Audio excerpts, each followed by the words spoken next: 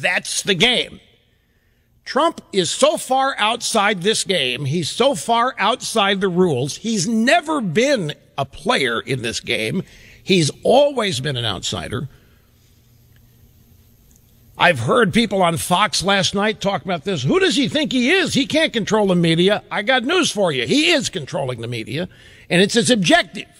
He is controlling the media. He controls the media when he's not on it. He controls the media when he is on it.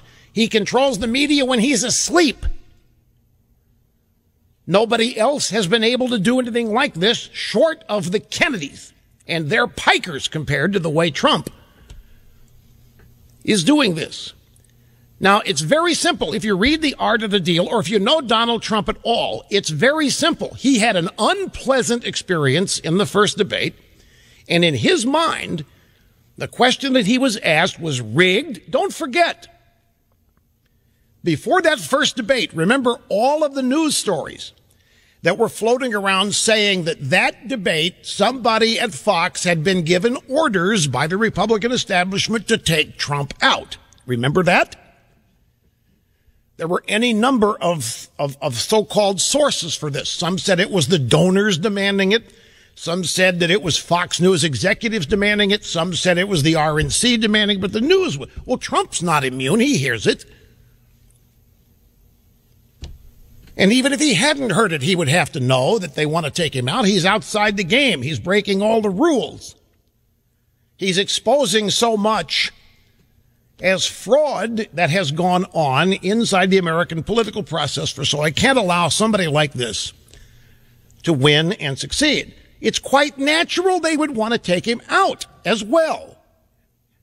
Politics it's Bengals Steelers time here, folks. It's quite natural they'd want to take. Well, he heard it. Here comes Megyn Kelly's first question. He didn't hear anybody else get a question like that. He never sees Hillary Clinton get a question like that. He never hears Bill Clinton or any other Democrat get a question like that. So he answers it and he says, screw this. I'm not putting myself in that position again. Why should I? I don't have to. But the rules of the game say when there's a debate, you show us screw the rules, he's saying. Why should I willingly give them another shot at me in a circumstance they control? Why should I do it? What's the sense in it for me? I'm leading. I'm running the pack here. Why in the world should I put myself in that circumstance? I've already seen what's going to happen.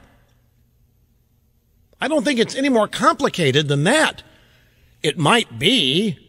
I mean, there could be some personal things going on here that I don't know about, but just in a, in a, from the standpoint of, of knowing Trump, reading his book, and seeing how he operates elsewhere, in his mind, screw the rules, screw what's expected, screw this is just the way you do it. I'm not going to put myself in a position again where I'm going to be treated unfairly. I don't have to. I'm Donald Trump. Anybody can do this. Ted Cruz could choose to do it if he wants to. They just don't. Cruz and the rest of the pack are playing the rules of the game. Trump is saying, I don't have to do it. I don't want to do it. I don't have any respect for these people. What the hell? In addition to that, Donald Trump knows that by not showing up, he's owning the entire event. Some guy not even present will end up owning the entire event. And the proof of that is Fox News last night. I have to tell you, folks, this is, this is where this, this gets tough for me. I was stunned watching Fox News last night. Fox News was acting like they had been jilted at the altar. If it had been me, and this is easy to say, if it had been me and Donald Trump makes a big to do about not showing up to the debate, report the story and move on. Talk about Ted Cruz. Go talk about the other candidates. Go talk about Hillary and the FBI. There's a lot of news out there, but don't devote the rest of the night to how a candidate's not showing up because of you.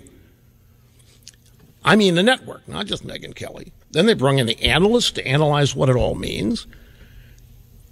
And I'm just, I'm watching this and I'm, I'm really, it's very hard for me to say here. I'm stunned watching this because everybody has to know everybody that's involved has to know that this is exactly one of the things Trump is hoping to achieve.